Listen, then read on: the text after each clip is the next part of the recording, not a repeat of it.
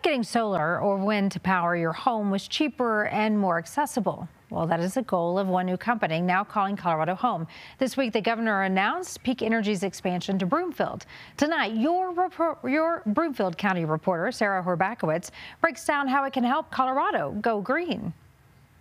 Peak Energy is making a new kind of battery for green energy, using sodium ions instead of lithium, a resource they say is more accessible and safer. This new lab is where cell engineer Sean Culver jumpstarts his day. This would contain, you know, active components, binder, uh, the solvent that we need to make that component slurry that when you coat it out, it's a layer of the batteries. Just one of many steps to turn sodium ions into a battery. To make sure that we have perfect alignment, we have one for anode, one for cathode. Complicated and careful steps. A final vacuum heat seal and you're ready to go. This is the final product, and this cell eventually will go into a battery like this.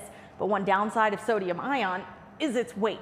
But the hope is that these will go into solar and wind farms and help be charged by renewable energy. The first product is a, a giant, sort of think of a 29 foot long, it kind of looks like a shipping container of batteries, 100,000 pounds. Um, enough to power you know a lot of homes. CEO Landon Mossburg has been leading this effort for nearly two years, charging his staff to develop sodium ion for a larger scale. If you have to think about your battery, like there's a problem. Um, and what's really nice about sodium ion batteries is they're really, really safe.